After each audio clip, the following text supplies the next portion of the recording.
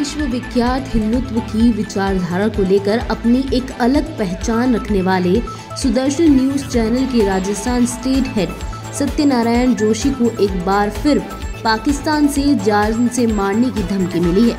पत्रकार जोशी से मिली जानकारी के अनुसार पोखरण रेंज में अतिक्रमण कर अपनी जागीरी समझने वाले कुछ कट्टरपंथी के खिलाफ अपनी आवाज़ बुलंद कर उन्होंने वहाँ से खदेड़ने को लेकर केंद्र व राज्य सरकार से अपनी मांग रखने पर देश के दुश्मनों की आँख में खटकने के बाद बुधवार रात व्हाट्सएप कॉल के ज़रिए सुदर्शन न्यूज़ के राजस्थान चैनल हेड सत्यनारायण जोशी को फिर से एक बार फिर जान से मारने की धमकी मिली है। हम आपको बता दें कि पाक विस्थापितों के नाम पर देश के कोने कोने में पाकिस्तानी हिंदुस्तानी होने का नकाब पहनकर मनमानी जगह कब्जाधारी बनकर अतिक्रमण कर रहे हैं।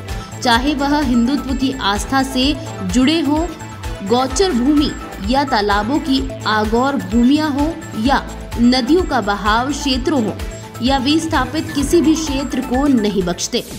ऐसे में जैसलमेर की सरजमी, जिसका इतिहास राजस्थान की वीरता का प्रतीक माना जाता है, उस जगह पर हिंदुस्तानी होने का चेहरा बनाकर पाकिस्तानी बेचारे व विस्थापित होने का ढोंग रचकर पोखरण रेंज में कब्जा करते देखे जा रहे हैं।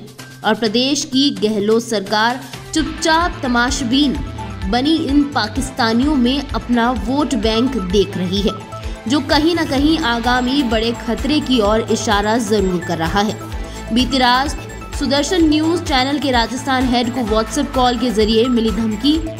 इस बात का पूरक है कि कट्टरपंथियों में मंसूबे हिंदुस्तानियों व हिंदुस्तान की जमी को लेकर कैसे हैं? फ़िलहाल व्हाट्सएप के ज़रिए मिली धमकी के बाद पत्रकार जोशी ने पुलिस थाना मातौड़ में रिपोर्ट पेश कर अपनी सुरक्षा मांगी है।